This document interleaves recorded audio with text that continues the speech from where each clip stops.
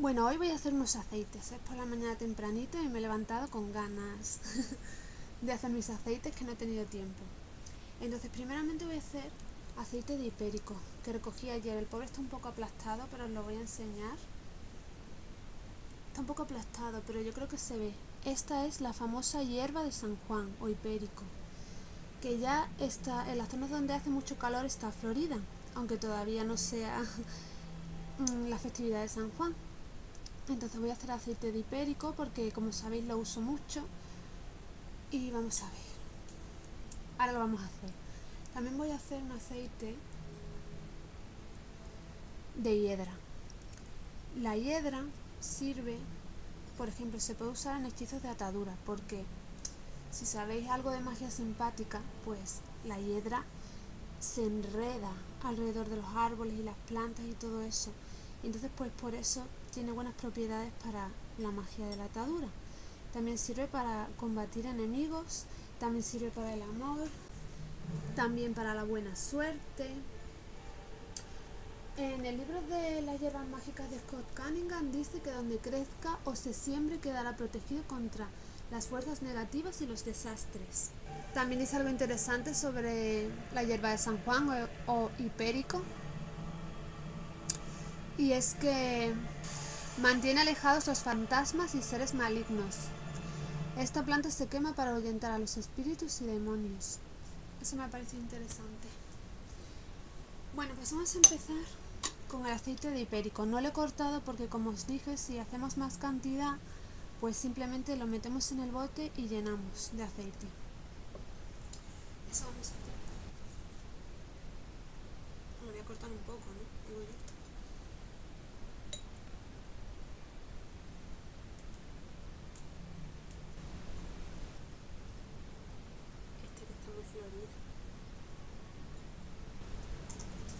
Bueno, tampoco hay que ponerlo muy apretado.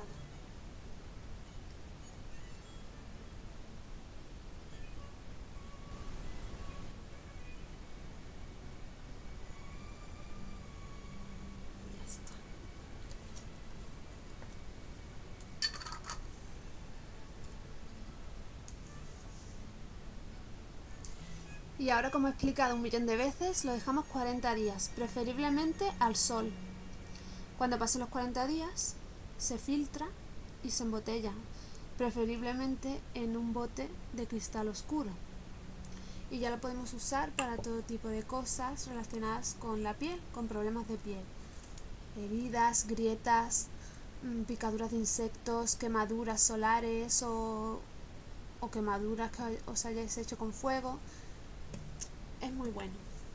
Y ahora vamos a hacer el de. Ahora sí vamos a usar lo de por cada cucharadita de hierba dos de aceite. Entonces, vamos a ver. Por eso lo he picado.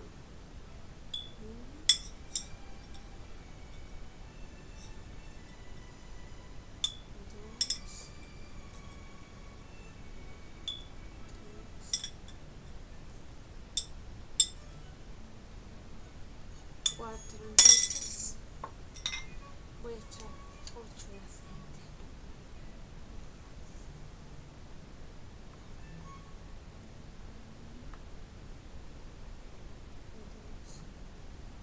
dos tres cuatro cinco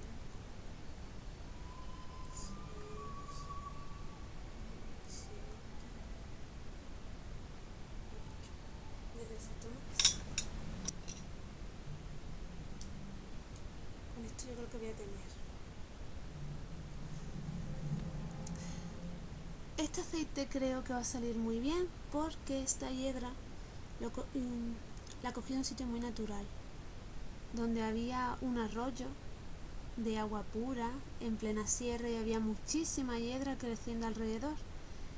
Así que creo que es buen material, es hiedra de buena calidad, así que va a salir muy bien. Y ahora tengo planeado hacer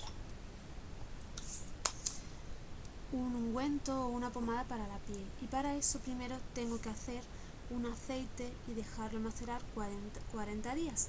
Entonces hay muchas plantas que sirven para el cuidado de la piel, como son la caléndula, el aloe vera, el llante, las flores de malva, la manzanilla, la avena, un montón. Entonces yo he escogido caléndula, flores de malva y llante mayor.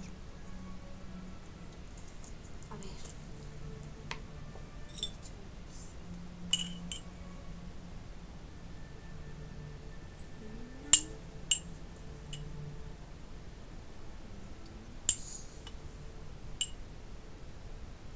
Tres partes de esta. La caléndula es buenísima para el cuidado de la piel, siempre se ha usado para eso. Y las flores de malva y el llantén llevan una sustancia que se llama mucílago, que es buena tanto para la garganta porque es expectorante, porque es así suavota, como para la piel porque es hidratante también. Otras tres.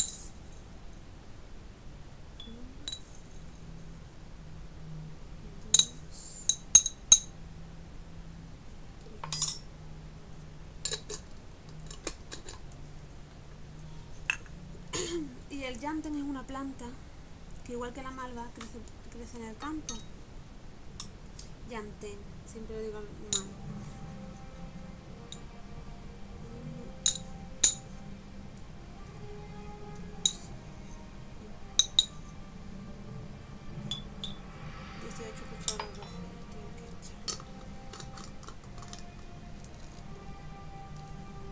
18 cucharadas de aceite porque echaban 9 de estas. Y el Yanten yo lo cogía antes, durante muchos años lo he cogido en el campo, pero porque tenemos una casa en el campo, pero mi padre la vendió y ahora lo tengo que comprar. Bueno, ¿por dónde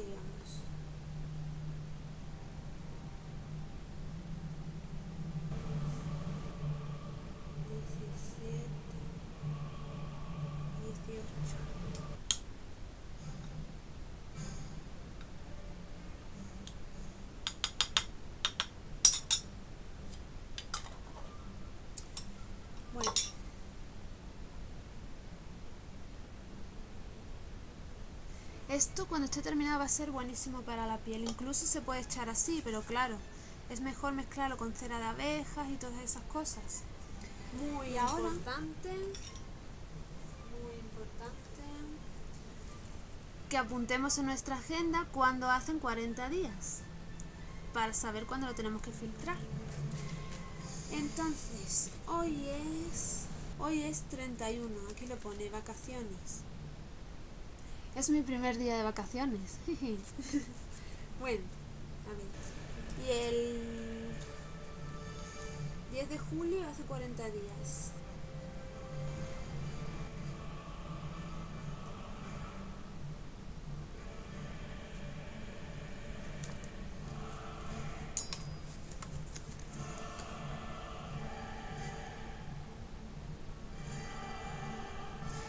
Siento que se ve al revés, pero no he encontrado ninguna opción por ninguna parte para poder poner que se vea al revés la cámara.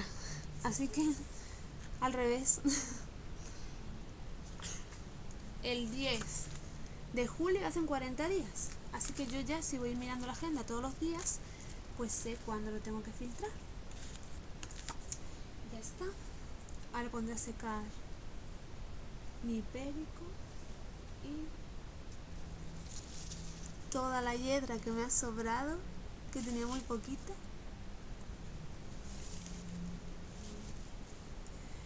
Y bueno, espero que os haya gustado y hasta el próximo vídeo.